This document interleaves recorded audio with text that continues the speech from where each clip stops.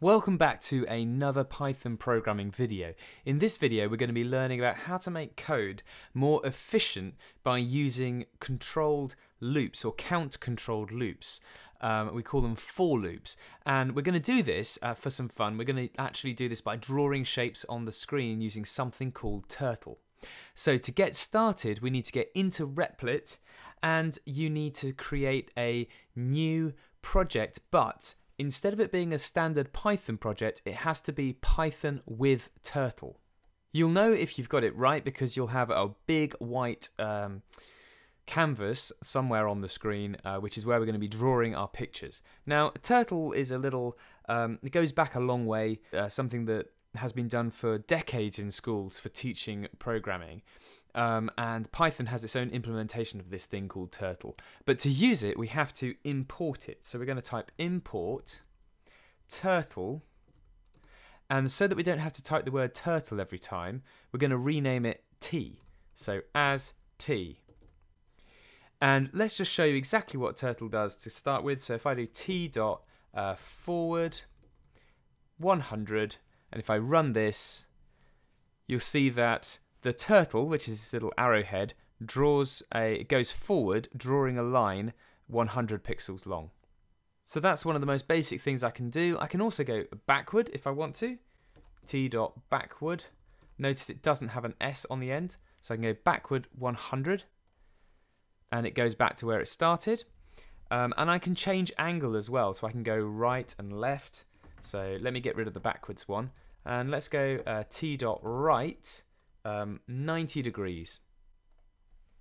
And you can see that my turtle has just turned around and it's ready for me to go forwards again. So let's go forwards another 100. And uh, you can see we've now uh, got a little bit of a right angle going on here.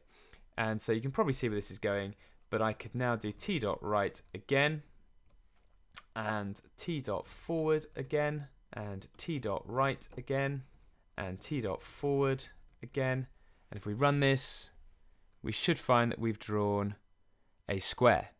Now there's a, a few other commands we can do with Turtle which can be really really useful um, including we can set a different color and thickness of our line.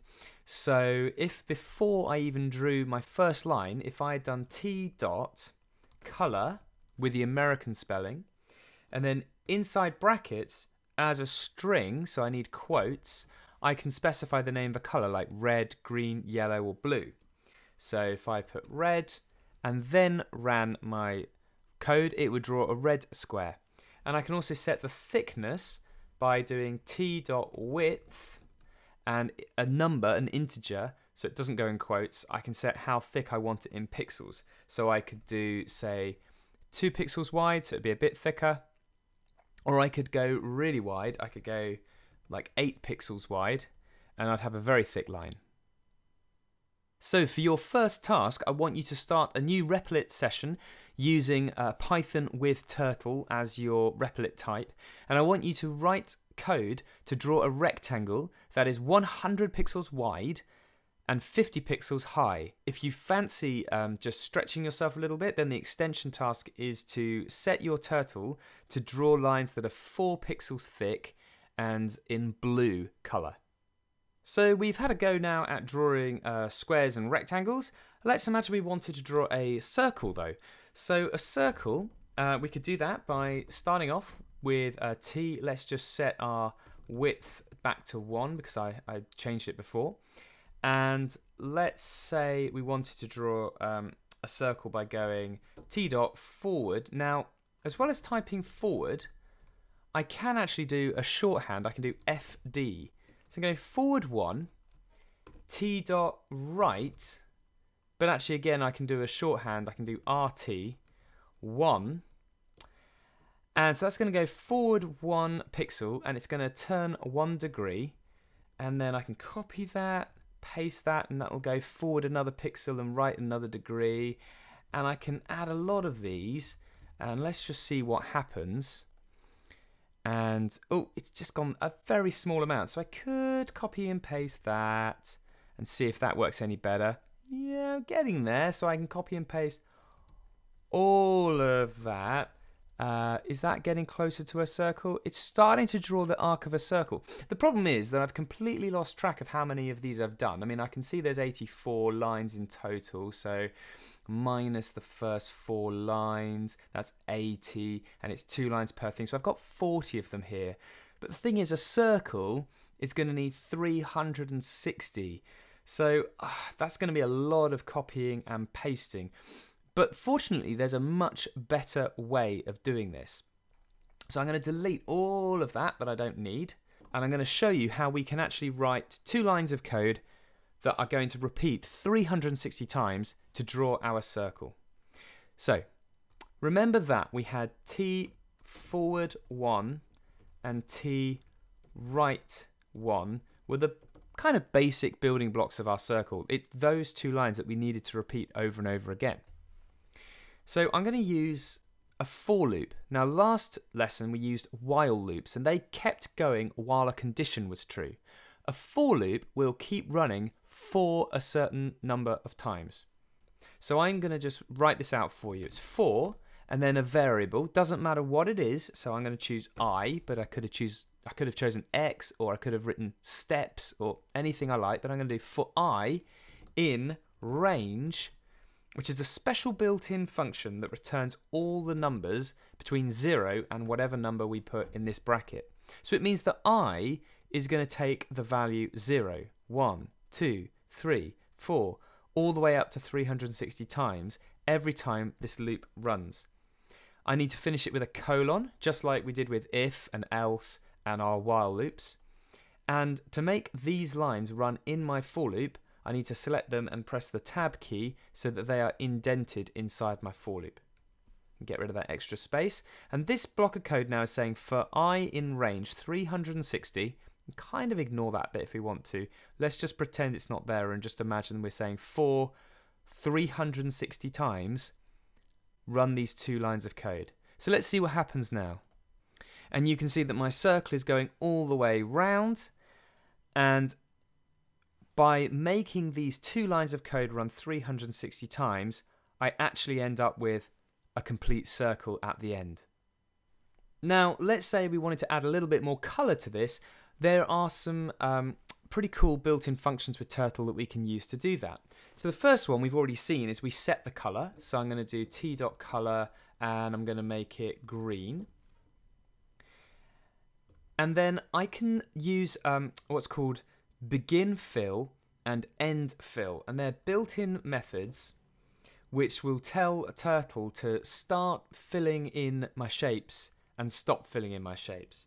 So if I do begin fill, then the code to draw the circle, and then t end fill, it should fill in all the shapes I've drawn in between the begin and the end. So let's see if that works.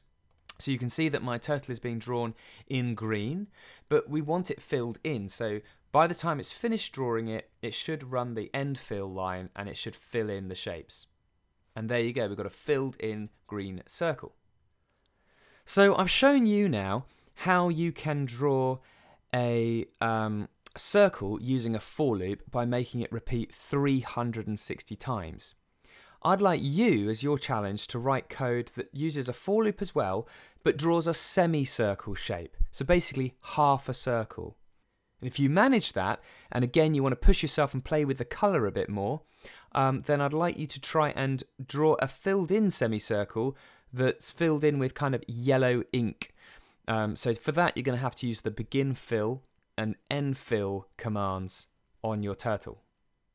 How did you get on drawing your semicircles? Hopefully you worked out that all you needed to do really was just change the number of repeats from 360 to 180. But as well as drawing circles with for loops, we can draw any regular polygon. So if I wanted to draw a hexagon, that's a six-sided shape, I could do code like this. For i in range, 6, so it runs 6 times, I could do t dot forward, um, let's go 50, t dot right, and I can just do 360 degrees divided by 6. So I could actually work that out, obviously, But it's sort of easier to imagine that because we're doing a six-sided shape, it's sort of easier to think, well, my internal angle, or is it my external angle? My external angle needs to be 360 degrees divided by however many sides there are. So let's run that and see what it produces.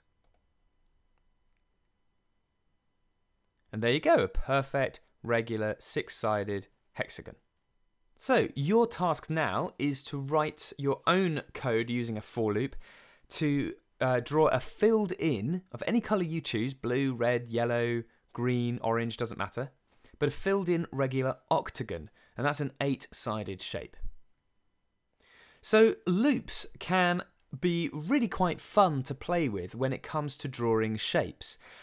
Anyway, I've given you some code snippets here. There are three of them on the screen, and I'd like you just to take some time just to type each one of those in turn in and see what it produces.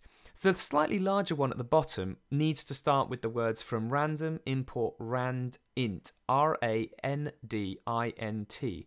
This is a special function you can get from Python that produces a randomized number or a random integer between the two numbers that you pass it inside the brackets.